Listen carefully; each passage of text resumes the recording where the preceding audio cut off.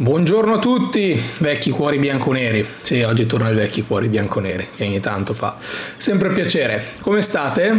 Spero tutto bene. Ieri abbiamo visto Kenan Ildiz volare agli europei grazie a una doppietta di un ex bianconero, un'ex conoscenza di Miral.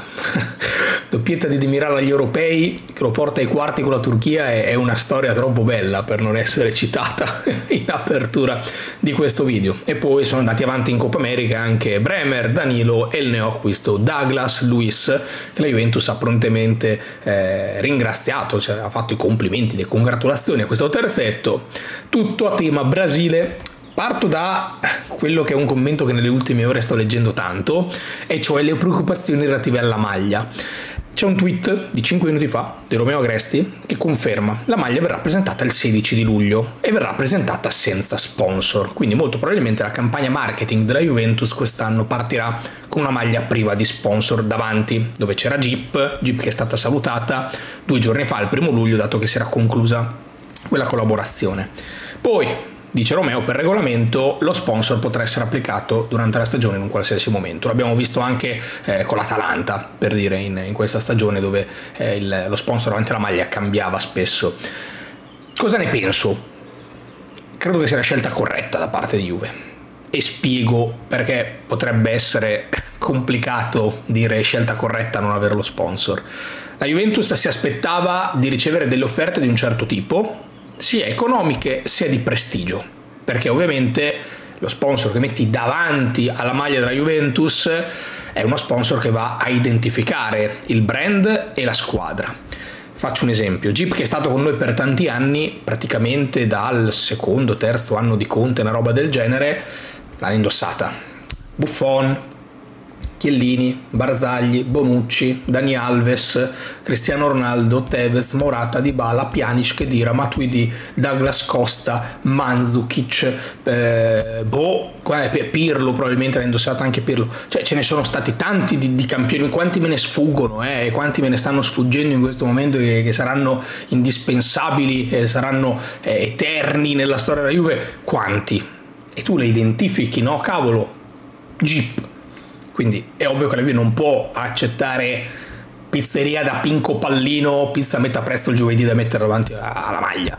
Quindi se non sono arrivate offerte che soddisfavano i dirigenti dal punto di vista del prestigio e dal punto di vista economico, io davvero piuttosto non metto niente.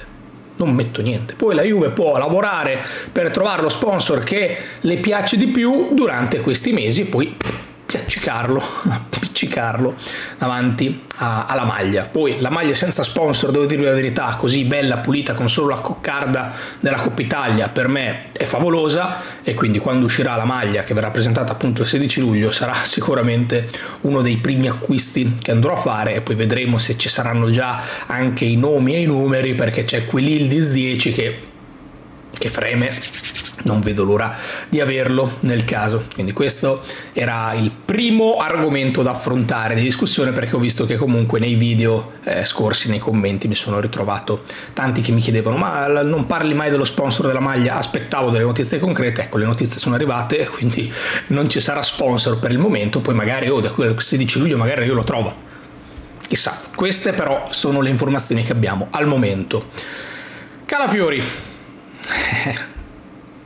è, è, un po' un pianto questo argomento, vi dico la verità, è un po' un pianto, perché leggere dei derby legati alle squadre inglesi che vanno a offrire 40, 45, 50 milioni per calafiori mi sta facendo venire un po' di tristezza. Ragazzi, eh, l'abbiamo detto tante volte, eh? Calafiori, Calafiori è uno degli obiettivi della Juve, Calafiori vuole la Juve, la Juve vuole Calafiori, Tiago Motta vuole Calafiori, Calafiori vuole Tiago Motta, però alla fine sono Juve e Bologna che devono trovare l'accordo. Juve e Calafiori ce l'hanno già, però se poi il Bologna pretende 50 milioni di euro cash, la Juventus non può fare questo tipo di trattativa. Ma non la Juventus, nessuna squadra in Italia può portare 50 milioni di euro cash al Bologna per Calafiori. E Calafiori è un giocatore fantastico, un giocatore fenomenale giocatore che è stato uno dei migliori, forse uno dei pochi a salvarsi nella spedizione europea di quest'anno, quindi a tutti gli effetti uno dei principali, eh, come possiamo dire, prospetti italiani di questa nazionale, di, di questa nuova generazione di talenti. Eh, Calafiori vorrebbe venire alla Juve, ma la Juve quei soldi non li mette ed è una regola del mercato. È chi vende che fa il prezzo, poi se il mercato decide che quel prezzo è adeguato, allora va bene poi vi dico tranquillamente, dovesse andare al Chelsea, un po' meno all'Arsenal, ma dovesse andare al Chelsea, Calafiori diventa un giocatore che a gennaio o a giugno prossimo può tornare in Italia senza problemi. Tranquillamente, perché il Chelsea è una squadra che da anni è pecca, pecca di organizzazione sportiva. Comprano, comprano secondo le mode, comprano secondo i momenti, spendono, spendono, spendono per non dare garanzie. Ricordate due anni fa, a gennaio, hanno comprato 50 giocatori, non si qualificano neanche in Champions. È ovvio che la Premier League è un campionato di altissimo livello, molto competitivo, dove qualificarsi in Champions è diventato oggettivamente un'impresa perché ci sono tante squadre. Basti vedere la Stone Villa che si è qualificato quest'anno, il Newcastle che si è qualificato l'anno scorso questo però ci dice anche quanto Douglas Lewis probabilmente sia stato impattante nella stagione dell'Aston Villa. Io sto leggendo tanti tifosi di altre squadre che prendono un po' in giro eh, Douglas Lewis e dicono ah, ma, chi, ma chi ha comprato la Juve? A me piace che a inizio luglio ci siano i tifosi di altre squadre che ridono degli acquisti della Juve. Anche a me piacerebbe ridere degli acquisti degli altri, però eh, faccio un po' fatica e diventa complicato, anche perché la Juve, oltre a Douglas Luiz, Kefren Turam e di Gregorio, perché si è chiuso pure di Gregorio questa settimana ci saranno le visite mediche, sta lavorando su altri fronti. Uno di quei fronti era Calafiori, ma quei soldi non ce li ha nessuno in Italia, liquidi, cash. Quindi vediamo cosa succede, se il giocatore pianterà i piedi e dirà no, io voglio la Juve, quindi si proverà a trovare un accordo molto complicato che possa essere così, vedremo. Vedremo anche fronte attaccanti, dato che Morata ieri ha sottolineato sui social la sua volontà di rimanere all'Atletico e vincere qualcosa con l'Atletico. Io sono sempre un po' restio a fidarmi dei post social dei calciatori. Ne ho viste troppe, ne ho viste troppe dichiarazioni social, io mi ricordo Piquet Neymar rimane, eh, quanto è rimasto poi Neymar al Barcellona? Eh, proprio ancora lì, non, non, si è mai mosso. Quindi io aspetterei un attimo, posso, poi magari Morata rimarrà atletico assolutamente, però i post social dei calciatori secondo me sono sempre un po'... Una unpopular opinion, devo dirla, devo dirla, su Kefren Turam. Ma l'ho già detta in realtà. Se andate a vedere il video eh, di presentazione de- della trattativa legata a Kevin Turam che ho fatto qui sul canale, l'abbiamo preparato in live tra l'altro eh, la settimana scorsa, due settimane fa e anche oggi torniamo in live, oggi pomeriggio quindi non mancate assolutamente, però ve lo dicevo, cioè il fatto che oggi la Juve prenda Kefren Turam e faccia andare via Rabiot, per me, per il peso che può dare dentro una partita il giocatore Rabiot e il peso che può dare il giocatore Turam, la Juventus ci rimette.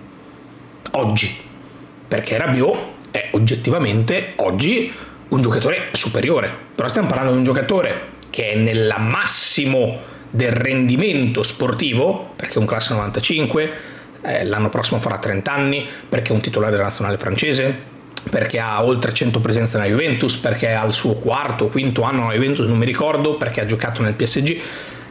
Kefren Turam è un giocatore che sta iniziando la sua carriera, che ha fatto delle belle stagioni in Ligan nel Nizza e che ora si candida dato che è uno dei prospetti più interessanti. Significa che è una trattativa sbagliata prendere Turam e non rinnovare Rabiot? No, per me è la trattativa giusta. È assolutamente la trattativa giusta, la trattativa corretta. Io, ripeto, non avrei rinnovato Rabiot neanche l'anno scorso dopo un campionato meraviglioso, quindi figuriamoci se lo voglio rinnovare adesso e a cifre elevatissime a tanti anni di contratto. No, è una cosa che io non vorrei fare. Poi se Tiago Motta dice oh io senza Rabiot non posso giocare al football, allora rinnovate Rabiot. Però sono anche onesto nel dirvi che oggi la Juventus prende un giocatore che in prospettiva o comunque nel prossimo anno, anno e mezzo può diventare veramente molto forte, ma sul quale bisogna lavorarci.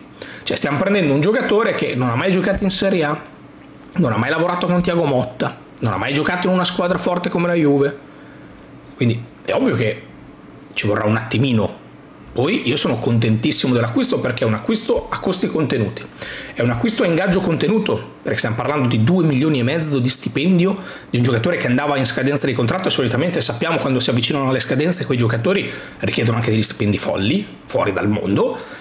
È un giocatore che la Juventus ha inseguito tanto, è un giocatore che la Juventus ce l'ha nel cuore, scusate, per forza di cose, per il passato del papà, e quindi per me è un grande, grandissimo sì però sono anche onesto con voi nel dirvi che mm, non abbiamo comprato Kevin De Bruyne, non abbiamo comprato Tony Cross, abbiamo comprato un giocatore giovane o comunque che, che ha iniziato questa sua parte di carriera a farsi vedere, a farsi a mostrarsi, a farsi inseguire, a farsi monitorare. È un colpo che andava fatto 100%. Io sono contentissimo che Giunto abbia fatto questo doppio colpo. Però attenzione eh, a identificarlo già come titolare inamovibile della Juventus.